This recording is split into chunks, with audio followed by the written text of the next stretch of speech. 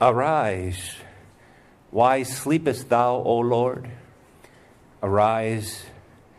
Cast us not off to the end. Why turnest thou thy face away and forgettest our trouble? Our belly hath cleaved to the earth. Arise, O Lord, help us and deliver us. In the name of the Father, and of the Son, and the Holy Ghost, Amen. In this Sunday of Sextagesima, we read this from uh, Psalm 43 in the introit, this prayer not of desperation, but a prayer of hope. And this is our continuation from a theme last week about the souls in purgatory.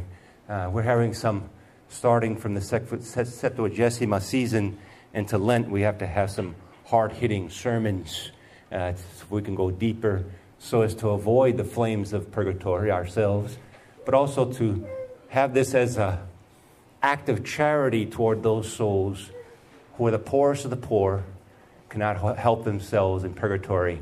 They need our assistance and our generosity and our sacrifice, especially in this season of penance. It'll be a great moment to start uh, to assist them and gain those graces in our preparation for Easter. So, our first point today would be to consider the gospel as we see those four fields of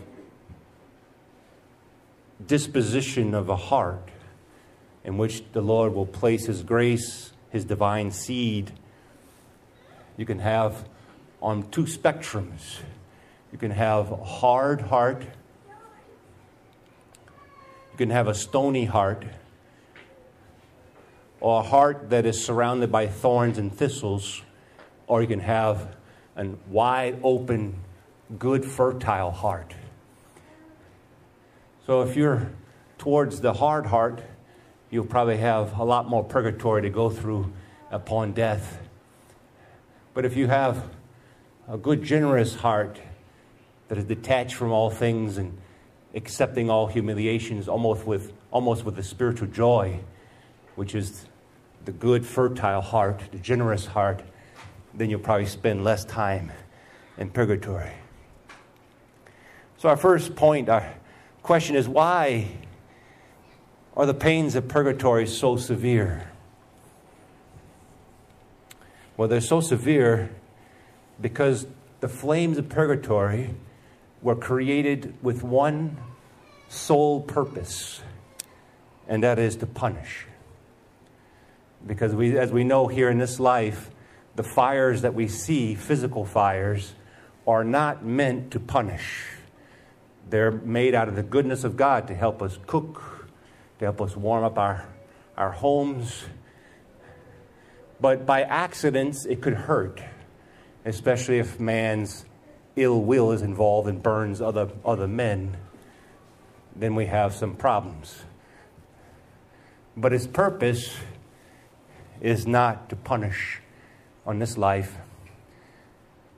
But that cannot be said about the flames of purgatory, for their only sole purpose of existing is to punish. In other words, to burn away all that dross, that is, temporal punishments that we accumulate, even through one semi, get this, semi deliberate venial sin as, as Pope Paul VI said when he was changing all the rules about indulgences in late 60s, he made this point very clear that even a venial sin uh, attracts the flames of purgatory. Uh, in other words, we need to be punished uh, for the, for the uh, residues of any, any sin, not just mortal sins, but any sin whatsoever. Fire burns our bodies made of clay if they were to burn us. And so, therefore, it's very quick. The consumption is very quick. Whereas those flames uh, are not very quick. Uh, they don't just burn clay, but they burn interior things. So, as you know as well, the souls in purgatory do not have their bodies yet. And so, and they will not have a bodies in purgatory because at the end of time, no one will go to purgatory at the end of time when they get the bodies back. So, but this doesn't mean that there's there's still sensible burning and hurt, just like our souls, as St. Thomas Aquinas says, is sensitive upon reaching a physical fire. So our souls also are apprehensive and can know how that feels. So the same thing analogously, those souls in purgatories, because their very souls are the principles by which the physical body forms. So even though you put aside your body at the end of your life, you still have these innate principles uh, that have the capacity to form sens- sensorial realities, which is the body. So these will be punished and they will burn without consumption. So therefore, they will continue fire, uh, continue not dying down. And then the last logical explanation of these purgatory pains is we must consider that the temporal loss of God is the worst punishment. So, not just the flames uh, that will consume any given man or woman in purgatory but the fact that they lost God, who is their source of all security, even in this life, we cannot, even St. Paul says, we cannot even breathe. We have our being, we move in God. Even pagans are some, somehow sustained by God uh, in some mysterious way. But in purgatory, all that is kind of like blacked out. So it's a big blackout. And you descend into the earth. And the farther you descend into the earth, the less secure you be and left utterly alone besides all the punishments and pains. But as we said last week, the only source of hope and would kind of give you a sense of a tiny bit of serenity would be the fact that you know that you're saved that you have not lost your soul, that this will end, and then you will be ushered into the beatific vision, into the eternal kingdom of God.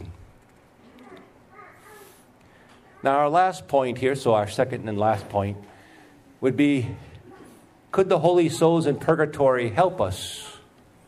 In that great book, Read It, Read It, or Rue It, glory to this question. Could the souls of purgatory help us? And that is yes. Those souls in purgatory, every one little thing we can do for them, they do a thousand for us, bigger things for us. That's why we should pray for the souls of purgatory, not just to get some sort of benefit from them, but to help them authentically. But the souls in purgatory cannot help themselves. That's their, that's their plight. They can't help themselves, and they're not official or intercessors of the church. Only the, only the saints in heaven are our official intercessors. I remember when I was uh, in a parish, uh, parochial vicar, I was very little time ever a pastor. So.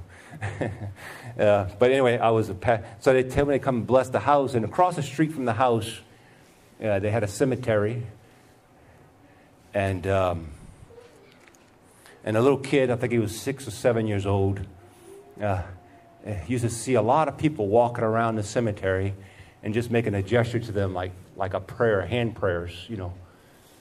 The kid wasn't scared. It was just something very natural.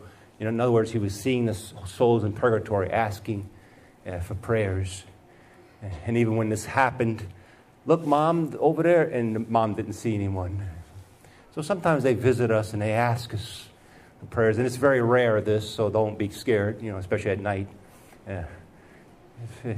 But it, it could happen. It could happen that someone has a sort of, some of these souls are kind of very hypersensitive to spiritual things, and it can be able to detect uh, that souls are in need.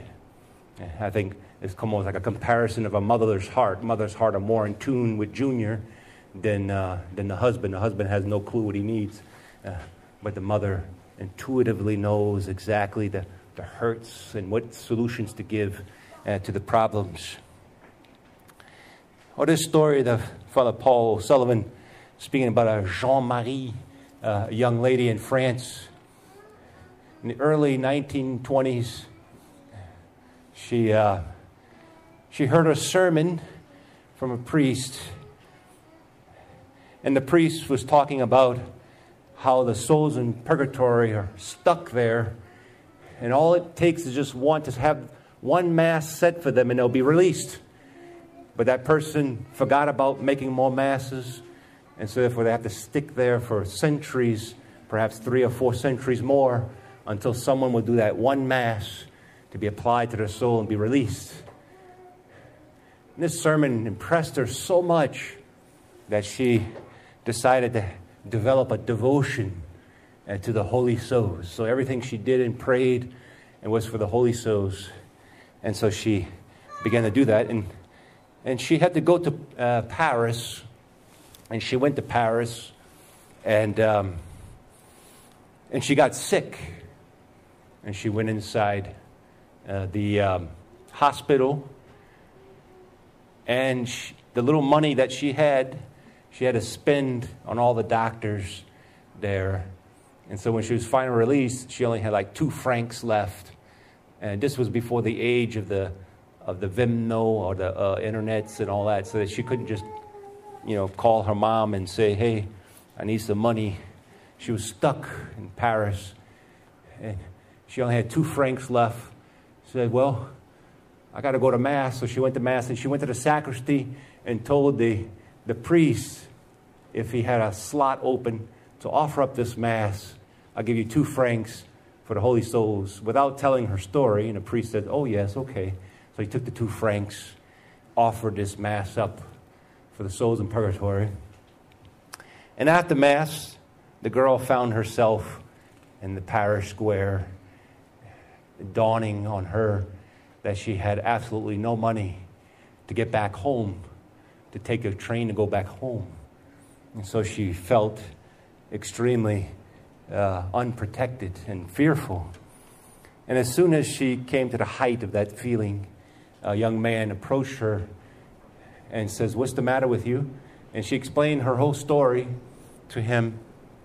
And she says, Oh, don't worry. I know a, a lady down the street uh, that is in need of a maid. You can work for her for two weeks, get your money, and you can, you can go back home uh, with that money.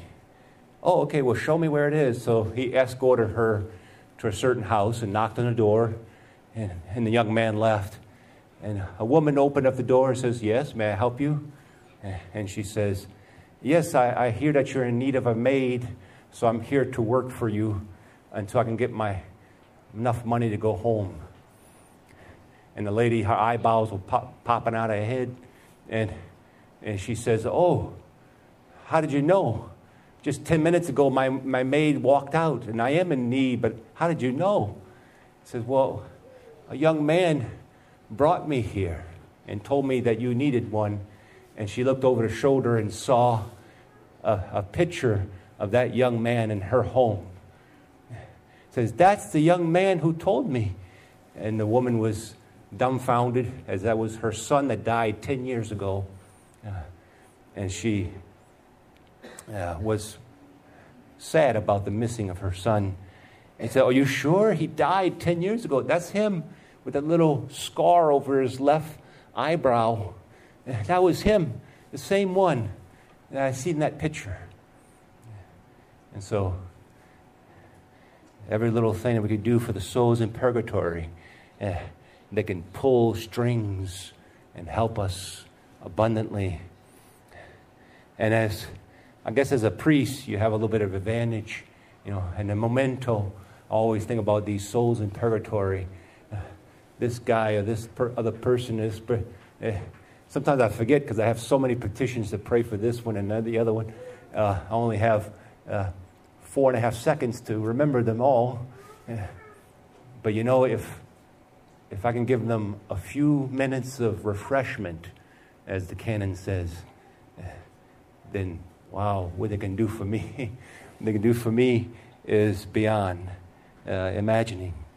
The souls that we could be the secondary cause of having them going into heaven just because They can go and see the beatific vision. They can be there reaching a safe harbor just because of your pains and aches and your generosity and your prayers and your offering up of masses, offering up of communions, praying the rosary, so that that one person can now be in the eternal kingdom of heaven saying, Oh, just because of Joan or just because of Harry,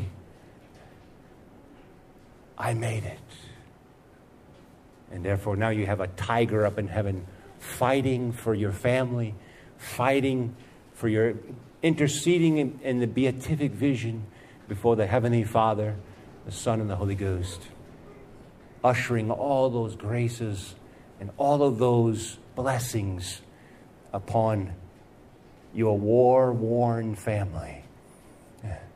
Blowing gaskets all over the place, two left feet, um, wounds infesting. And that's what you need. You need more help in heaven. So, as we continue this holy sacrifice of the Mass, let us put aside all of these entertainments by which we entertain ourselves. That was a famous sermon uh, when I used to live in New Orleans as a boy. The priest used to say, Put aside that beer can now on Mardi Gras Day and now pick up your rosaries, he used to tell us. Know. And uh, I say, Oh, I'm already a step ahead. I don't drink any beer, you know, being 11 years old. Uh, but the same analysis could, uh, could apply to us we're kind of nonchalantly walking around, entertaining ourselves and being lazy and slothful.